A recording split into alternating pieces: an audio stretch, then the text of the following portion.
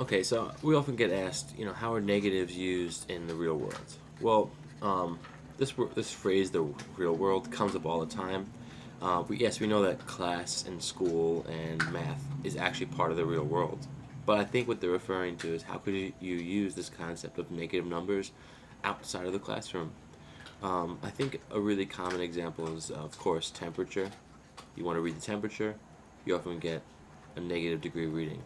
Of course, we don't need negative numbers in temperature, but it's a very useful tool to understand how cold or warm it is outside.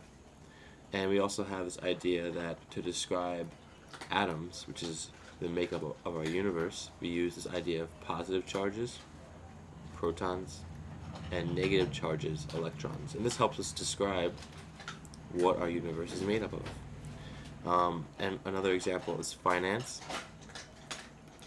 and because well I mean if you're in the black you have a positive value. If you're in the red you're negative. You're losing money.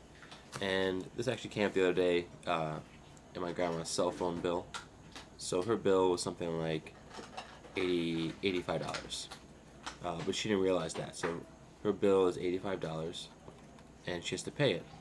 So she pays I think it was uh, let's say $90 so she paid too much. Um, and this happens quite frequently. So she gets a statement that says her balance is negative five dollars. And what they're trying to say is, well, the balance is what you owe us. Well, she owe, doesn't owe them. Not only does she not owe them anything, but they owe her five dollars, right? Her balance is negative five dollars. But instead of paying her, when her next bill comes around, her next bill is again, let's say $85, it'll say she owes $80. What they're doing is saying, you all, you owe us 85 but you've already, your balance is negative 5 so you really only owe $80. So this idea of having a negative balance is very useful in finance, uh, especially when you pay more than you owe or unfortunately sometimes when you give away more than you have. Uh, if you have a credit card and you have a hundred dollars, or well, say a thousand dollar limit on your credit card, but you get really excited and you spend, let's say, something close to that, eleven hundred. That can happen easily over time.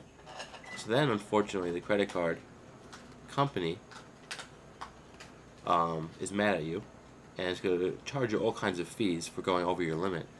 But also, if you look at your balance, now your balance is not referring to what you owe, but what you have, and then you your balance would equal something like negative 100, which is unfortunate because now you owe the 100, and they would probably charge you more for going over your limit. So this idea of negative numbers is it necessary? Um, not always, but it really helps with finance. It's really useful for balances. It helps us describe what's happening.